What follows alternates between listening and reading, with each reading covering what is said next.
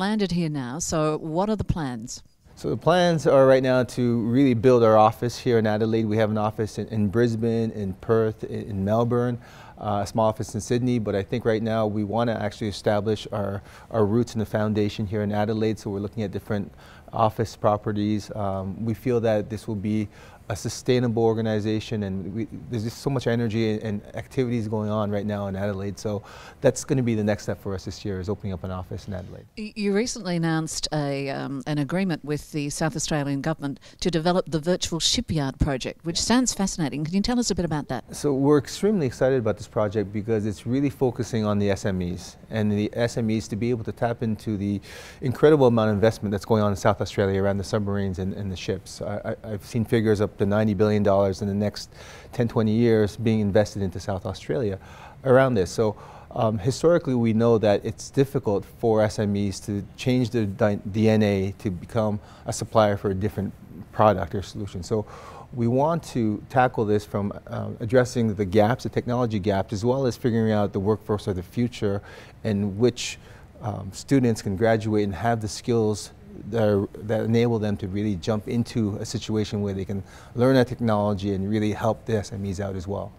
It's fascinating because obviously there's a focus on students and university students and the uh, increased focus on STEM, but not many organisations have actually focused on those existing SMEs, yeah. which is why many of them get left by the wayside. Right. So I'm delighted to hear that that's been a real target for you, uh, for Dassault. Yeah, I think it's it's we know that uh, it won't be easy. We know there's challenges, and but we're excited that there are challenges, and, and there's a, where there's a will, there's a way. There's passion, there's, there's incredibly innovative people who want to change and they see the opportunity. So I think we're, we're, we're invested into this journey, we're excited about it. We have people who really believe in this project. So uh, we're confident that things are going to work out. Yeah. So clearly, defence is a focus, um, but there are many subjects that we're discussing here today in, in the forum. So tell us about some of those others. And I know there was a, a wonderful discussion around space. Yes. So I think if we think about outside of, of shipbuilding and, and submarines, we would look at mining, um, architecture and construction, and, and space. Uh, mining is a, a, an industry that's a little bit close to my heart lately because it's new to me, but I've been learning about how important it is to the world and the world of material sciences and how everything that we do is really originating from the mining companies. Um, the challenges that the mining companies have had has forced them to also innovate and really think about how they transform their whole process. So we're excited about a lot of different initiatives and projects happening in Australia, driven by Australian companies that really are taking digitization seriously and looking at their whole process that hasn't changed in, in a good number of years. and also, when we start talking about smart cities, I think for many uh, people, smart cities was an interesting concept, but it was very difficult to get their heads around the tangible benefits. But clearly, that thinking has evolved over the past few years. It has, I think, and it still means different things for different different people. But I think one of the things it's it's really important is the ability to make decisions for the city that are in the interest of the best of, of the, the people of the city and to be able to communicate that and having a platform for decision making and communication is really what the, the advantage of a, a, a digital uh, platform so, talking about a digital platform, I know out in the playground, which is very well named, that there are some wonderful experiences. Uh, can you tell us what some of those uh, experiences are like? Sure. So one of the things that I like to focus on is we actually built, uh, with the data that's publicly available of Adelaide, what a virtual Adelaide city would look like. So you can actually go in there and look at real data that's engineering grade of what the city of Adelaide will look I like. I saw my office. I was so excited.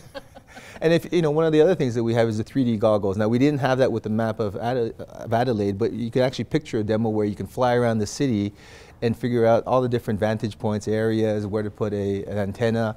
So there's different demos that show the power of 3D in decision making and, and ideation, creation, and innovation. Because uh, apart from me looking at my office, but clearly the, the bonus of that sort of uh, data driven technology is that you can forward model the impact of a whole variety of changes. Yes, I think the the real planning of something and taking into all the different what if scenarios is an incredible challenge for many people. When it comes to product development, to city planning, I think the, the ability to federate through all that data, getting into one central repository, which we call our 3D Experience platform, will be very beneficial and be able to look at that in a very logical way and have other people look at that and collaborate with. Uh, Um, it's interesting that our focus on STEM, science, technology, engineering, yes. and math, has really come back into the fore.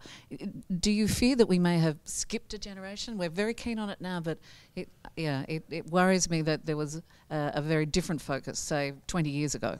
As a, as a company that's been focusing on that for 40 some odd years, I think that hasn't changed for us. I think we're, um, it's great to have governments and leaders and companies focus, focusing on that again. Sometimes it's, it's difficult and people want, are shying away from it because it is difficult, understanding processes, understanding science and technology, but that's what we do as our DNA and, and we're just happy that people are refocusing on that again. Uh, the opportunities in Australia seem almost boundless. What do you see as, I don't know, your five-year projection? What would you like to see in the way that Australia looks at Dassault Systèmes and thinks of their input? So I think we would like to change the lives of the SMEs and the students. I think what five years down the road, if we see SMEs are successful in the supply chain, um, I think there will be a, a, great satisfaction um, from our, our, team that we did some good into, you know, we're a company that's ranked in many publications as the most sustainable and we want to see our customers and our partnerships blossom and, and we're really results focused and we're passionate about making these programs work. So I think that would be really great. I've, I've heard you speak passionately about innovation and sustainability, and that really sums up what you do. As a company, that's, that's our, our DNA. Um, our Bernard Charlès, our CEO, really drives us a universe where we're trying to link product, nature, and life. And that's really our, our, vision statement. And if you look at everything that goes around in the world now, we don't look at just product and features now. You look at the interaction between the product and nature, the product and the human interaction. So I think that's, that's a lot of data, that's a lot of different aspects, but that sums up what we do in, in our DNA very well. Well, it's sounding like a very bright future. Um, thank you so much for joining us. My, so my pleasure. Thank you very much. Thank you.